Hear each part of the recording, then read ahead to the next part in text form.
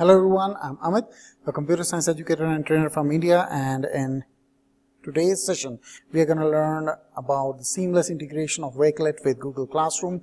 We can share our resources created in Wakelet, the educational resources in the form of collections directly into our Google Classroom. Let's uh, see how it can be done. So here I am in a Wakelet account, in my Wakelet account where I have created a collection on Python programming, basics of Python programming, where I have few notes, I have some video videos uh, for my students, in fact video tutorials and some assignments are there which I want to share with my students. So it's easy to export them into my Google Classroom. I'll just hit the share button and here I have the option of Google Classroom. I'll just take it. And here it'll uh, if my account is signed in my Gmail account is signed in and my Google account uh, Google Classroom is there it'll ask me to choose the class. Yes I have computer science class there. I can uh, uh create assignment. I can uh, ask question from my students. I can make an announcement. I can create material. Let me take it, it as an announcement for my students. I'll just go about it and I'll have some text for them.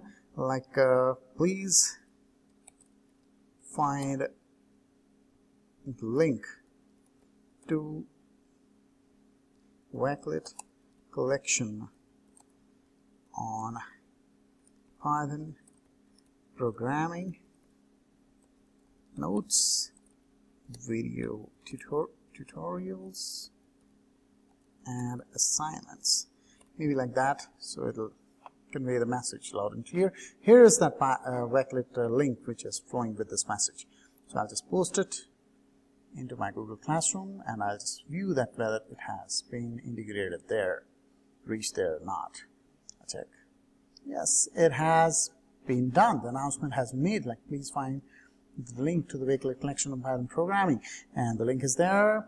They can click here and directly access the collection, the e-resource which I created for them. That's all simple because Wakelet has a seamless integration with Google Classroom. It's all simple for the educators, very important also. Stay tuned for more updates on Google Classroom.